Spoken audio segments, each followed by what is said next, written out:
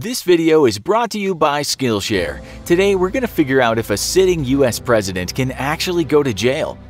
And if crime is something you're interested in, Skillshare's got your back. With over 24,000 online classes such as explaining the criminal mind in 60 seconds, Skillshare has what you need to learn new things or maybe just hone your existing skills and knowledge. Premium membership will give you unlimited access to topics that will improve your skills and in the process your life. The first thousand people to sign up by visiting the link in the description will receive two months of Skillshare absolutely free. Join Skillshare and start learning today. Now, let's start the main part of the video. America is great because she is good. If America ceases to be good, America will cease to be great, wrote French political scientist Alexis de Tocqueville in his 1835 book, Democracy in America. The USA, he believed, offered equality that was not seen in other nations. The founding fathers of the US had created a form of ruling that was not able to be tyrannical, that was chosen by the people and served the people, and if it failed to do so would be removed. This America was a long way from absolute monarchies and from the authoritarian government presided over by powerful dictators. It was supposed to embody what Thomas Jefferson wrote in the U.S. Declaration of Independence, that all men are created equal. With that in mind, welcome to this episode of the Infographic Show. Can a US president go to jail? If all men are created equal, perhaps this means that all men should be treated as equals when it comes to matters of justice. That's why there are laws, and no people in a democracy should be immune to punishment. We could argue that the scales of justice do seem to be tipped in favor of those that have more money to avoid close scrutiny by law enforcement or to hire brilliant legal teams to perhaps undo wrongdoings. Notwithstanding the sometimes mind-boggling chicanery a very wealthy person might employ to get them out of trouble, everyone in the USA should be answerable to the same laws. This must mean that an American president can surely go to jail or prison. Just so you know, jail and prison are sometimes interchangeable words, but here in the USA, jail is usually the place you go to for a short stint before you have a court hearing, or if you're just serving a very short sentence. Prison is the place you go to after you've been convicted of a crime.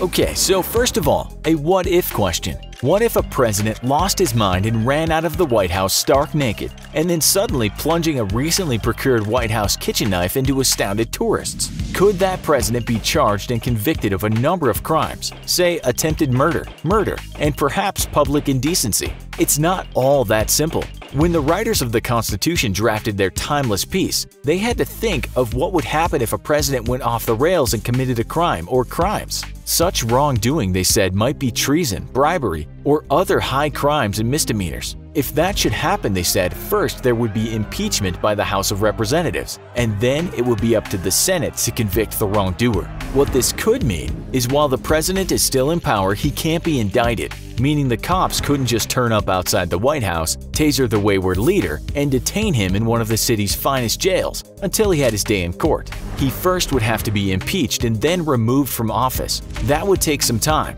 after he has been removed according to the Constitution, he or she will be liable and subject to indictment, trial, judgment, and punishment according to the law.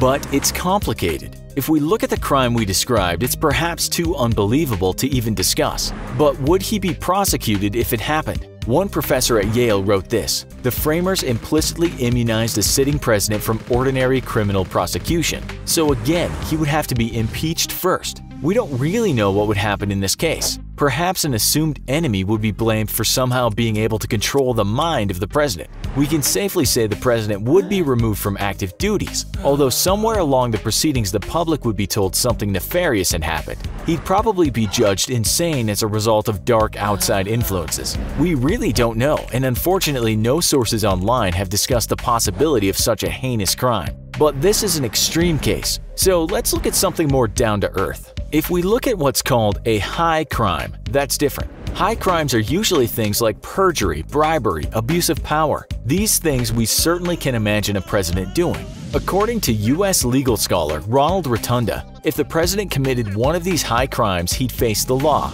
Rotunda wrote while investigating former President Clinton, It is proper, constitutional, and legal for a federal grand jury to indict a sitting president for serious criminal acts that are not part of and are contrary to the president's official duties. In this country, no one, even President Clinton, is above the law. Still, others disagree. Time magazine in 2018 featured a story written by the former principal lawyer for Vice President Spiro Agnew.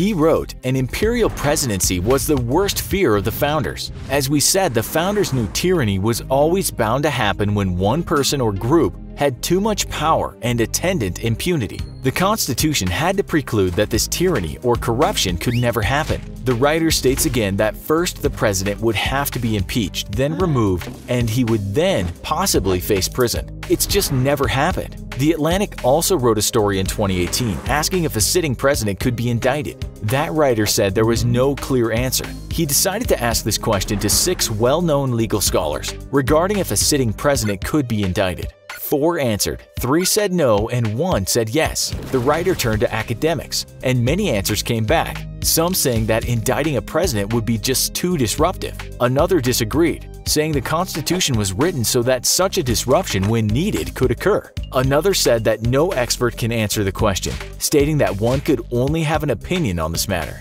There's no airtight legal framework that can guarantee an answer. We apologize that we can't ascertain a clear answer to the question in this show, but it seems there is nobody out there who knows. The Constitution was written so that the president could face the law as you and I do, but while in office it would seem that indicting a president would be very hard to do. That seems wrong to some because if the founders had wanted to give immunity to presidents, that would have been explicitly written into the Constitution. Perhaps the Constitution should have some small print where it says all men are created equal. In that small print we can read subject to change without notice not applicable outside of warranty. Is that too cynical? What do you think about all this? Tell us in the comments. Also, be sure to check out our other show, The President's Escape Plan if the US is attacked. Thanks for watching, and as always, don't forget to like, share, and subscribe. See you next time.